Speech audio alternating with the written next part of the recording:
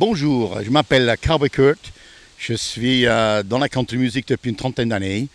Et euh, ceux qui ne savent pas, j'ai quand même fait pas mal de festivals country, surtout à Lancy, pendant au moins 14 ans. Et là, il y avait une petite interruption. Mais là, on m'a demandé, euh, grâce en fait à, M. Lorenzini, qui est le maire de Lancy, qui me demandait de refaire ce fameux festival qu'on a fait en Marignac. Mais cette fois, on l'a fait au parc Navazza. Alors, je suis responsable de la programmation. Et comme on aime bien le, country, country blues ensemble, on a vraiment une, une, palette d'artistes qui sont différents, extraordinaires.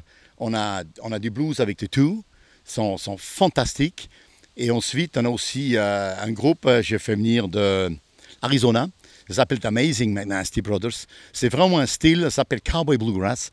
Et c'est des gens un peu habillés un peu 1800 c'est vraiment un film. Quand vous le voyez sur scène, c'est un film. C'est tout simplement, c'est ça, c'est extraordinaire. Ensuite, on a celui-là que je pense que vous connaissez tous.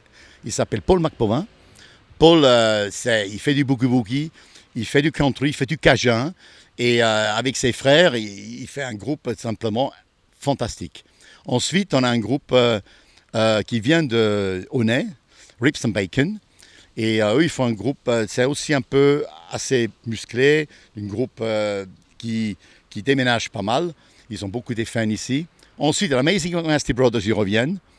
Ils vont euh, être là en deuxième groupe.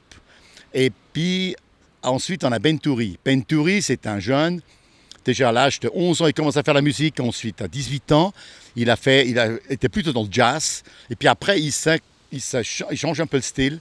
Il fait aussi du boogie boogie Cherry Louis. C'est une attraction sur scène, c'est tout simplement phénoménal.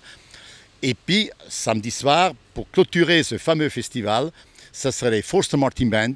C'est des musiciens qui viennent du Canada et ils sont euh, dans chaque instrument respectif, ils ont gagné les awards, c'est-à-dire le, meilleur, le meilleur chanteur, le meilleur euh, guitariste, le meilleur bassiste. Et ça, c'est une, ambiance. On dit, euh, eux, ils disent par exemple le roller coaster. Ils vont faire du truc traditionnel, ils font aussi du country rock.